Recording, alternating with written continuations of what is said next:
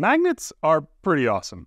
As a kid, I used to like to take the magnets off of my fridge and drag them through sand and gravel around my house. And they would pick up all of these little iron filings, which I thought was pretty awesome.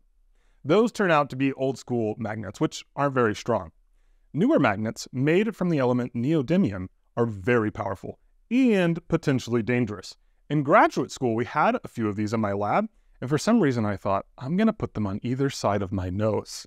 And so I did.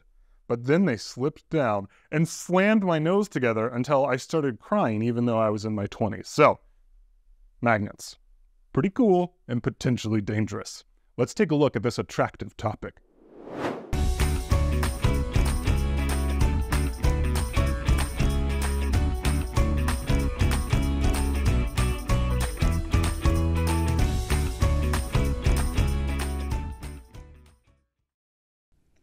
Let's begin by reviewing our lesson objectives.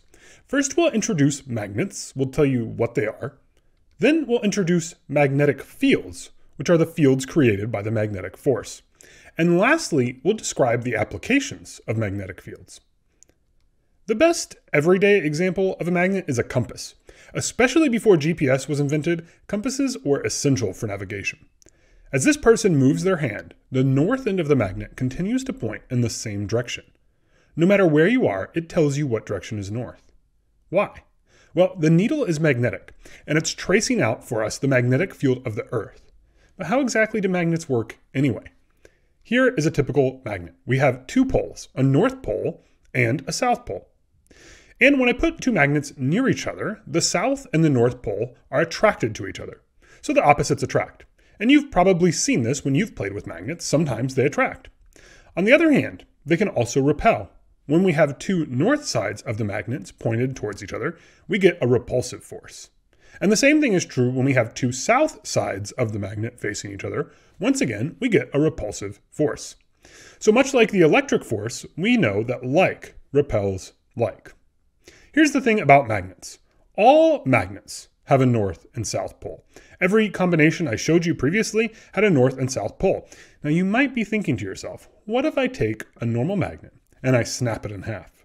Couldn't I then get just a north and just a south? The answer is actually no. If you snap a magnet in half, you get two new magnets, each with a north and a south pole.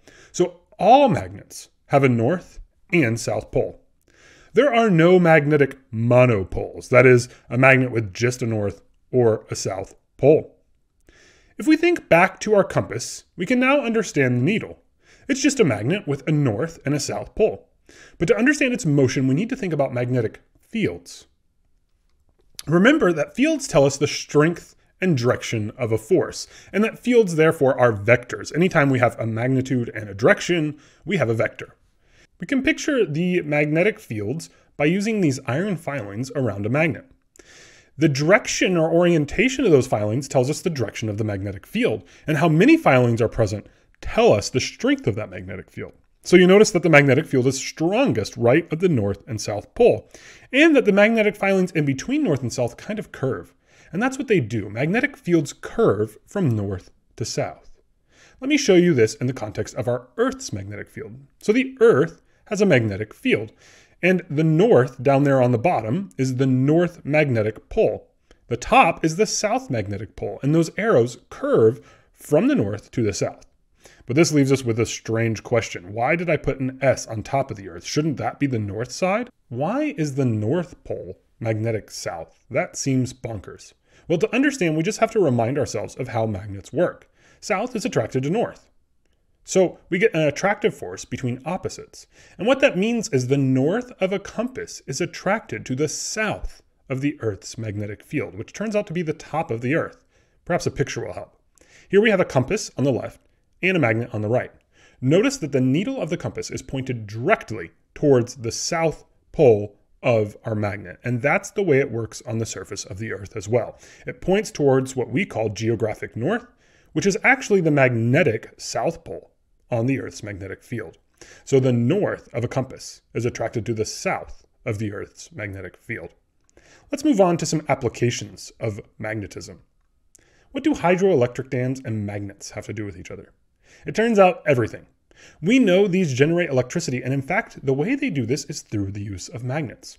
If we take a look inside, we find this a bunch of turbines. They spin by allowing water to move through them, which spins what's called a generator, and that makes electricity. The same principle is at play with this crank flashlight. If we spin that crank, it will actually spin a wire between magnets, which turns out to generate an electric current and light the light bulb. Here's how it works. We see this wire that's spinning. Well, it's connected to the crank on our flashlight. And as we rotate it, that coil of wires rotates between two magnets with opposite poles pointing towards the coil. This means that coil of wires is in a changing magnetic field. And that's critical. As the magnetic field changes, it generates a current in the wire which can be used to power the light bulb. This basic process is at the heart of most of our electricity generation. Here is a real live generator. We see the coil of wires that can rotate between a north and south magnetic pole. When that happens, it experiences a changing magnetic field and generates a current. So here is a key point. A changing magnetic field creates a current. But the opposite is actually true as well. Here we see a lightning bolt, which is just basically a current. And that current creates a magnetic field, which can be detected by a compass. So a current can generate a magnetic field. Here is the principle put to use in an electromagnet. An electromagnet uses electricity, that is a current, to generate a magnetic field. This magnetic field can then be conveniently turned on or off at will by turning the current on or off. All right, let's test your comprehension. Provide the answers to each question below using the following terms north, south, current, magnetic field, wire, or current. All right, pause the video and see if you can answer this. All right, A says north is always attracted to. Well, that's got to be south. That's just the way magnets work. Opposites attract. North is always repelled by, well, like repels like, so that must be north. C, magnetic fields curve towards the south. So our magnetic fields always curve from north to south. A changing magnetic field creates a current. That's what goes on in a generator. And a current creates a magnetic field. Lastly, electricity is made by spinning a wire. If we spin a wire in a magnetic field, we have what's called a generator, and it makes a current. Let's review what we've learned. First, we introduced magnets. We said they always have two poles, a north and a south, and that like is repelled by like, and that opposites attract. Then we introduced magnetic fields, which we said always curve towards the south, and they show us the direction and strength of the magnetic force. Lastly, we described applications of magnetic fields, like generators. Hey, hey.